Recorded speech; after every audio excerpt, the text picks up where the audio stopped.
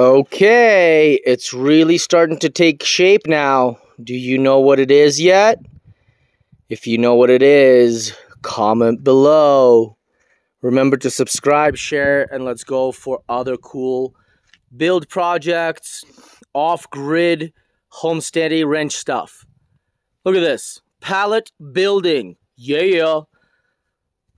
But we're also using some really, really awesome materials. Like, for example, that right there is a harvested Doug fir log that Andy did a really, really, really good job putting bird's mouths in.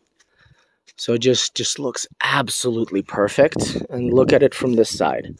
Look at this. Look at that. Look how incredible that looks. Doesn't that look amazing?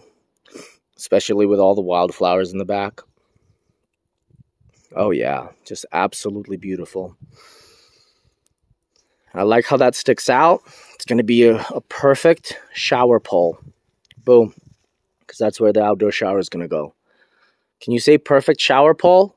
Perfect shower pole. yup.